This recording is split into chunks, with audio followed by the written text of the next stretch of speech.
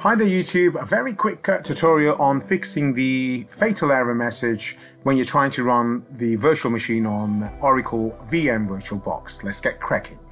Okay, so uh, I've just uh, basically came across this uh, and uh, so I just thought I'll just put a, a quick tutorial out there, okay, or how to. Okay, so if I was, if you're like me and if you were trying to run this uh, virtual machine, and you actually came across uh, this message here right now. So nothing to be alarmed about. Uh, you know, uh, it's just that uh, the system, the virtual box, has not been able to locate uh, a bootable image of the operating system you're trying to run. Okay, so what we're going to do is that we are quickly uh, going to do the needful and address this right. So I'm going to power this machine off. Okay, so it's got resources allocated to it. So I'm going to delete this quickly. All right, so I'm going to remove this. Uh, yep, delete all files. And before we do that, so we need to, in my case, I'm using uh, uh, Ubuntu. And so I need to download an ISO image uh, uh, file for, for, it to be mounted later. So I'm going to head over there. If you haven't done so already, if it's Windows 10, you need the appropriate uh, bootable disk from there uh, to be mounted. So go to downloads uh, and then uh, pretty much follow the online instructions and download the file, uh, which I've already done.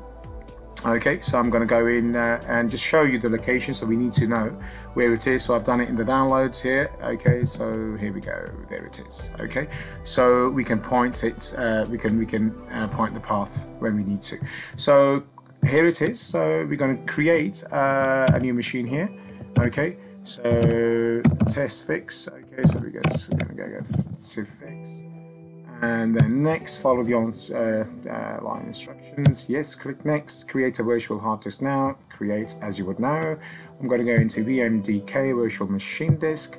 Next, dynamically allocated. Yes, please. And there we go. Right, now we are going to fire this away, okay? So in my case, it'll already be mounted anyway because I've already got one machine running. So as you know, when you be faced by this prompt here, all you got to do is click browse and go to your location. So in our case, it's the downloads folder. Okay, so nice and easy there. And either double click it or open and start. Right, so that should, there we go. That fixed the whole error message there. Okay, now you are your operating system's actually loading. So what I'm going to do actually is I've already got one installed, so I'm just going to show you. I'm going to close this.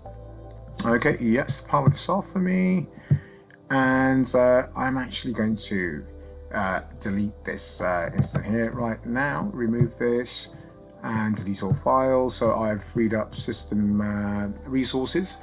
So I'm going to go back into the one I created earlier just to uh, show you guys that it's all fully functional. Okay so I've saved that. Okay so let's uh, let it just restore.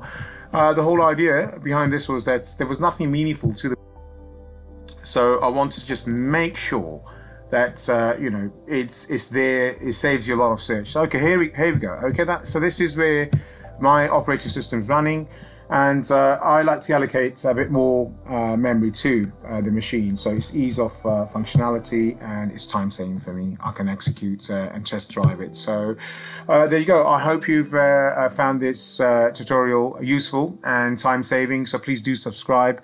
I will be uploading small fixes to glitches as I go along my learn learning path back into IT so now you have a pleasant day and see you soon